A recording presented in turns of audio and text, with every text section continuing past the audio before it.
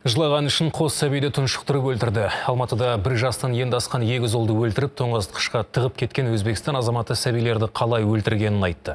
Ал нәрестелердің анасы азаматтық некедегі күйеуінің қылмысын жасыру үшін онымен бірге балалардың денесін сөмкеге салып, пәтерден пәтерге қашып жүрген. Қолы қанға малынған екеу жасы үштер шамасындағы үлкен ұлдарынан да көз жазып қалыпты. Оны көшеде жылап жүрген жерінен қала тұрғындарының тауып алған кеше көрсеткен едік. Бір ажалдан аман қалған балақай қазір дәрігерлердің бақылауында жан түршігерлік қылмыстық оқиға туралы толығырақ тілшіміз Асыл Әділханұлы айтып берсін.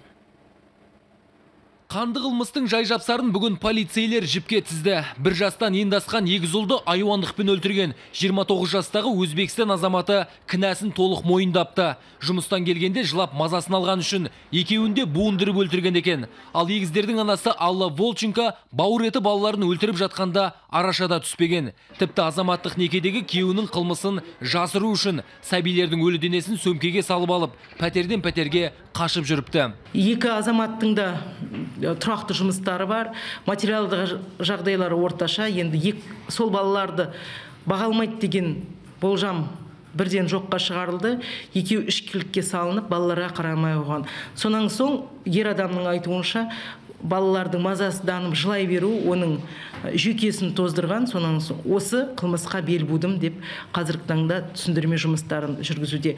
Балалардың мүрдесін тоңазытқышқа тығып тастап, арақ ішуден қолдары босамаған екеуі үш жастағы үлкендерін жоғалтып алады. Қала тұрғындары жылап жүрген баланы дер кезінде таппағанда, маскүнем ата-ананың тамақ сұрап шырылдаған сәбиге не істейтінін ойлаудың өзі қорқынышты.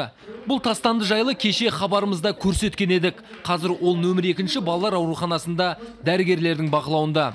Бала көшеде ойнап қаңқып жүрген, үсті басы кір-кір, қаралмаған жағдайы бірақ денсаулығында ешқандай кінәрат жоқ дені сау тамақ жегені бәрі дұрыс. Алғашында ақ халаттыларды жатырқаған бала қазір дәрігерлердің қолынан түспейді. Ал оның ата анасы арақтан әлі естерін жия алмай жатыр. Уақытша қамау уақытысында тергеліп жатқан олар қандай қылмыс жасағандарын әлі түсінбей отыр. Алматылықтарды шошытқан қанды қылмысты әзірге көші қон ережесін бұзып елде заңсыз жүрген Өзбекстан азаматы жалғыз істедім деп бар кінәні мойнына алғандай болып отыр. Және ол Түрксіб аудандағы пәтерді сәбилердің денесін жасыру үшін әдейі жалдағанын айтқан.